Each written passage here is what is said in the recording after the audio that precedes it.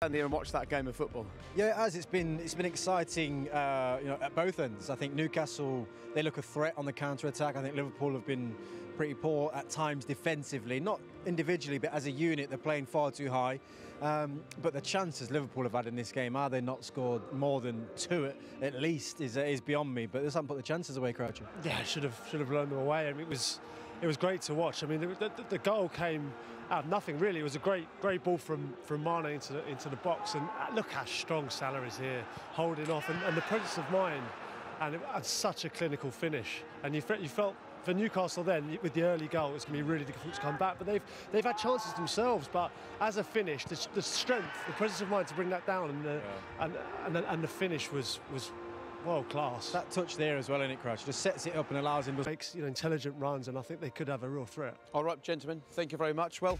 Things settled down and they did get back into it. Mm. And it was a significant goal as well. Uh, he's become the first Liverpool player to score 20 Premier League goals in three different seasons. He's also gone into the top 12 of Liverpool uh, goal scorers. Um, there's a famous name in eighth position there uh, on 158, though. But uh, Mo Salah, 1 2 3, considering the four seasons. Put that into context in goal scoring terms. Unbelievable. When you consider he came to Liverpool and wasn't really regarded as a, as a goal scorer. Yes, at Roma he started getting his numbers up really significantly, but he's never been that natural finisher. He's certainly improved over time, and now he, he I mean, he gets that many chances. It's it's interesting, really, though. You, you wonder whether because the way Liverpool play, it, it suits suits him perfectly, doesn't it, John? You're being very kind to him, Michael. I know you want me to tell the truth, and this is the truth. Mo Salah is not a number nine natural finisher. The, um, the, way we play and the amount of chances we create means he scores lots of goals. But he also misses lots of goals. And the goals he scored, as you saw there, was an incredible goal. But the bread and butter goal, Michael Owen, Robbie Fowler, Ian Rush, Harry Kane, Lewandowski, that's not what. So we miss so many chances, as we have in this game as well. Yeah, so, so, so how's it only 1 0 in this game, John? well, because of bad finishing.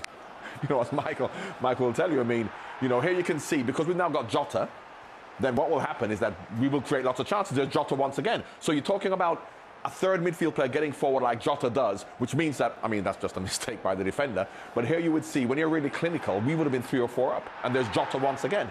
So the front four are literally playing as a front four. Yeah. yeah. And Firmino, for me, here, this is why Firmino is in the team, always.